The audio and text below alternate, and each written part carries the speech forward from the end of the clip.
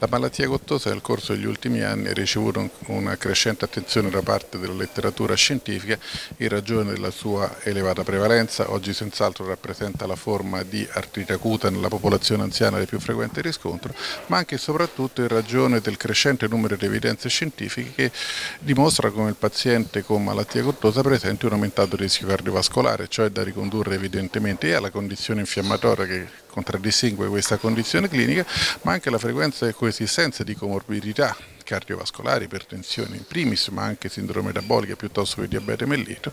in realtà la relazione è così stretta tra malattia gottosa da un lato e fattore di rischio cardiovascolare che fa pensare ad un nesso fisiopatologico tra queste due condizioni in un rapporto fondamentalmente di potenziamento reciproco che fa sì che il paziente gottoso, iperteso, con sindrome metabolica piuttosto che un diabete presenta un rischio cardiovascolare particolarmente rilevante. Il naturale derivato di questa associazione è l'opportunità di tenere sotto controllo controllo.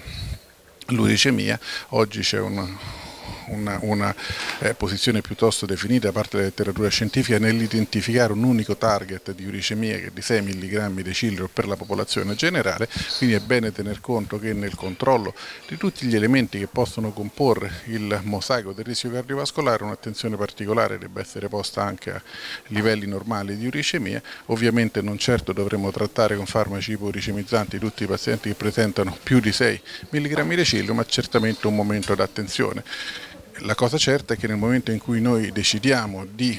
approcciare un trattamento ipouricemizzante abbiamo un target da raggiungere che è 6 mg decilitro al di sotto del quale noi da un lato eh, preveniamo la comparsa di riacutizzazioni gottose dall'altro abbiamo la ragionevole certezza di poter controllare in maniera adeguata quella quota di rischio cardiovascolare connessa al dismetabolismo dell'acido urico. È evidente che trattare un paziente con trattamenti ipouricemizzanti, vuoi inibitore laxantino ossidasi, vuoi più modernamente una combinazione dell'inibitore laxantino ossidasi più un farmaco urico-surico quale il letinurad ha la possibilità evidentemente di